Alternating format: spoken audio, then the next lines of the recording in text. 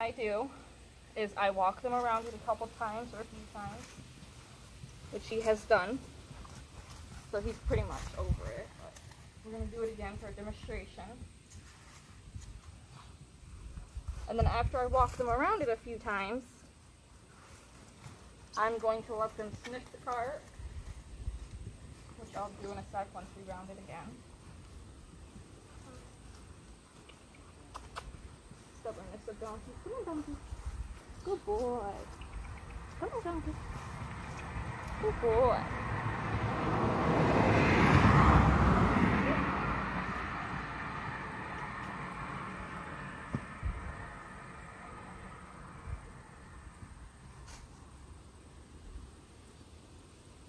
There we go. Good boy.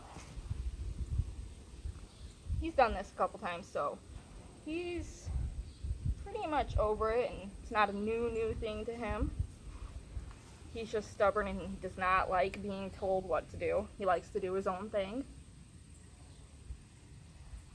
So after I'm gonna round him up again, and after I do that, we do a couple more turns around it, and then I'm going to come.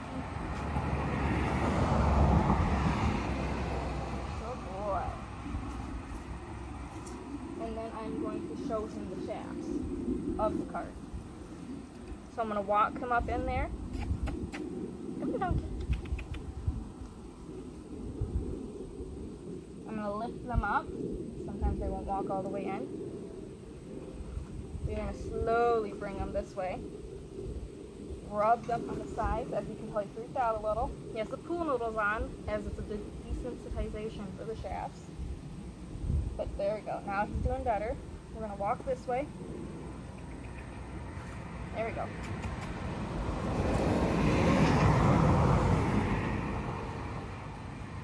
He freaked out a little because the shaft hit him. So we're just going to bring him around.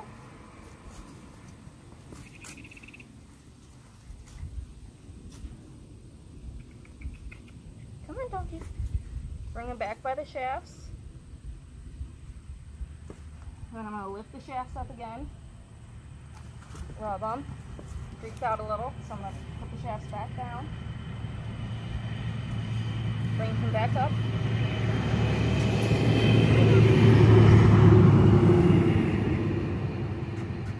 Come on, donkey. There we go. Good boy. Shafts back up. Okay, try not to hit him. And I'm gonna, he does not like it when shafts hit him. So I'm gonna put him back down, bring him back up.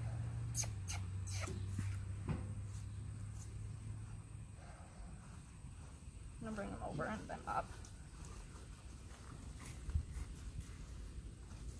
It's a tight fit because I have the pool noodles on, but he needs to know that it's okay if the shafts hit him. Especially because in the cart they are gonna rub his sides especially when he is turning a sharp turn or just turning in general, they'll hit their shoulders. So I'm gonna bring him forward. Come on. Good boy. Let him stand here for a few minutes. Well, a few seconds, not a few minutes. And then I'm gonna try to bring these back up. There we go. See, he's doing much better. Rub him right here. Put him back down back them up, and then we're going to do a trip around.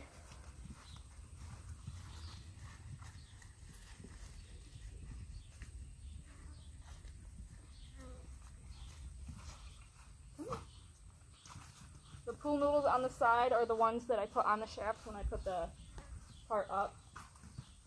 But it's just great desensitization for him to have them. Good boy. Good boy. So I'm going to bring these up.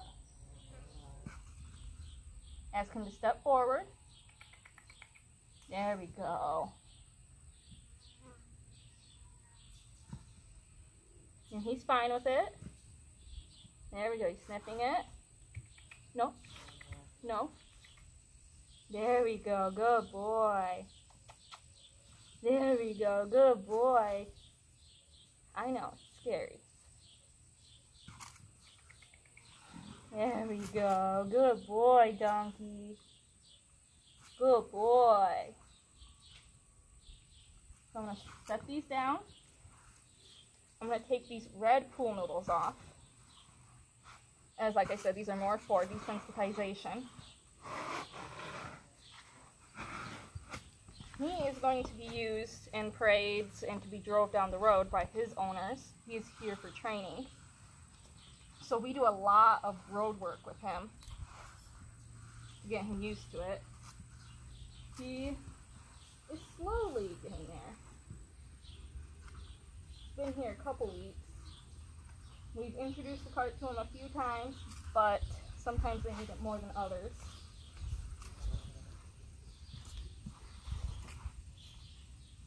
Especially because if you do this by yourself, it's going to take more time as you don't have someone holding them when you're taking equipment on and off. Which is why it's taking me so long to take this noodle off. Okay. Oh. There we go. I'm to throw it aside. And then I'm going to reintroduce the cart. So I'm going to bring him around.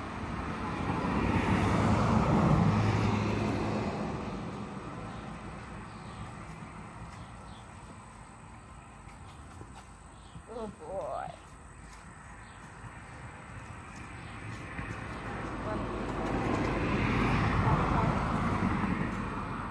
Get used to it.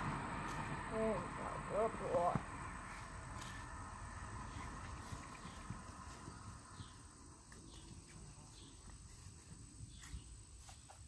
Come on. Good boy.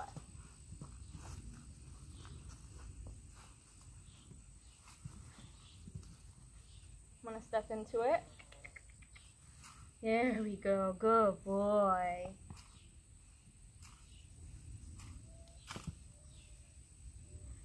I'm gonna lift these up. He's backing up. So I have to readjust him, otherwise the shafts would have hit his underside.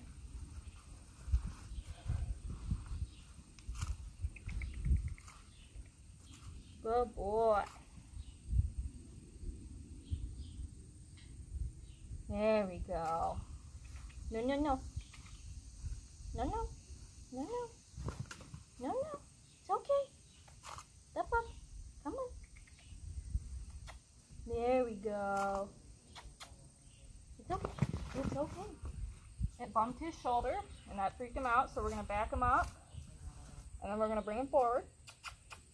Come on. Okay.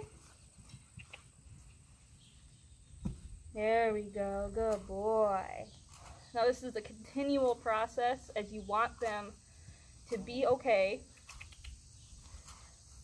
with the shafts hitting their sides, with the shafts occasionally poking them.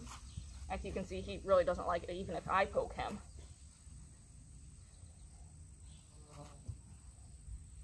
But you really have to get him used to this before you start driving him in the driving not only him but horses in general in the cart. We this is why it takes so long for us to sorry not bugs uh, get them into the cart because I really want them totally desensitized to the cart which is why I'm doing this facing them towards the cart. Yes when they have the blinders on they won't be able to see it but the feel of it kind of freaks some horses and some donkeys out which is why we work with pool noodles so much and work with Sometimes we'll put PVC pipes on the sides after they get used to the pool noodles. Line driving is also a huge thing. Ground manners. I've worked with some horses who have had excellent ground manners. They do train faster for the cart than horses that have no ground manners. Donkey is a unique case because he is a donkey and all the donkeys I've worked with are stubborn. Good boy. He is really good with traffic. Unfortunately, the few traffic videos I have taken and posted, there's no traffic going through when I've taken them, which is weird because our road is pretty busy. So I'm going to try it again. I'm going to lift him up. He backs up. I'm going to bring him forward while holding them up because There we go. He needs to know it's okay. There we go. Good boy. Good boy. I'm gonna bring him back up. Come on. Good boy. I'm gonna set him down. I'm gonna bring him fully up. Come on. There we go. Come on. Good boy. I'm gonna step to the side. I'm gonna bring him up more. Come on. Good boy. Good boy. And I'm gonna back him up. Back. Back. Back. Good boy. And then eventually I'll be able to back him into it. Right now we're still working on that. We're still working on introducing him to the cart. This will take a little bit. It takes some horses longer to get used to than other horses. I really recommend doing this with all your horses when you're getting them trained for the cart as it really gets them used to the feel of the cart, the sound of the cart, the smell of the cart, things like that. It really gets them sensitized. That's a huge thing, especially with me when I'm driving and when I'm working with my training horses. I may spend an hour a day doing this, plus, for only one horse. So yes, when they come to me for training, one day I might just spend it walking them up to the cart, getting them used to the cart. So by the end of the day, they are either desensitized for the cart or they need to work on it more where I know what their strengths strengths and weaknesses are with the cart and without the cart. He's a really good ground driver in line driving. He's really good with the traffic. It's just the shafts that bother him. I no- noticed that when I put the pool noodles on. He's gotten used to them, the pool noodles. Taking the pool noodles off is still a little tricky, especially because I have to do it myself. And if I'm holding him like this and taking them off, it takes a while. But he's doing a lot better, aren't you, donkey?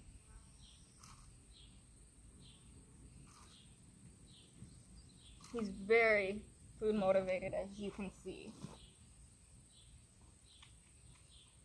I do promote treating them occasionally with either treats or grass. I do grass a lot because it teaches them, hey, you did a good job. Here's a reward for it. A lot of people don't like it, but I really promote it just because if you do it in the correct and right way, it does not promote bad behavior.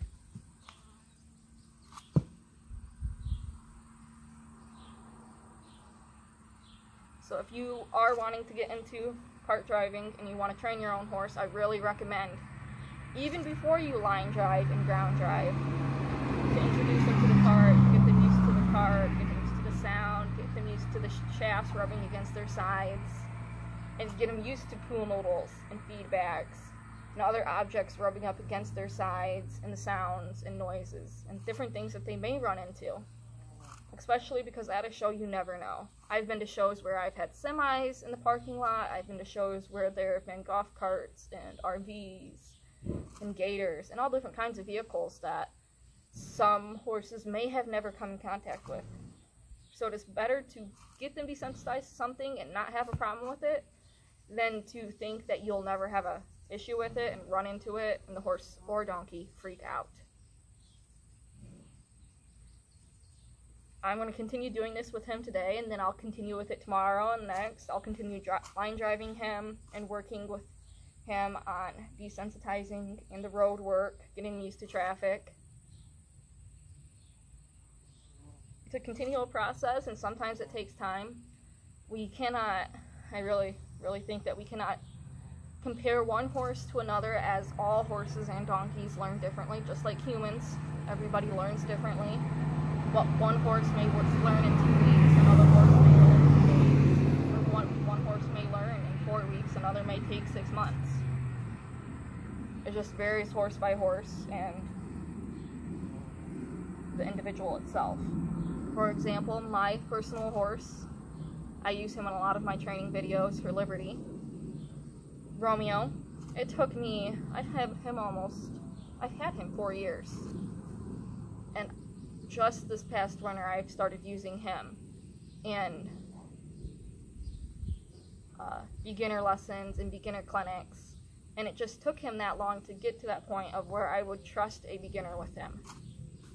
And it was not the beginner's fault, it was because Romeo did not have that training in his mind where he could be trusted with a beginner that did not always know what to do, or if the beginner lapsed and they were driving him and they didn't know what to do, Romeo would know what to do, which is what I love with my lesson horses. Donkey is not one of my lesson horses. Donkey is a donkey in training right now. He's been here a couple weeks and he has gotten a lot better. He line drives like a pro. I'm going to do another video with him line driving and how to fit a harness to a donkey. They have a little bit different shape than horses. So it'll be a little different, but same concept of harness fitting with the donkeys versus with the horses.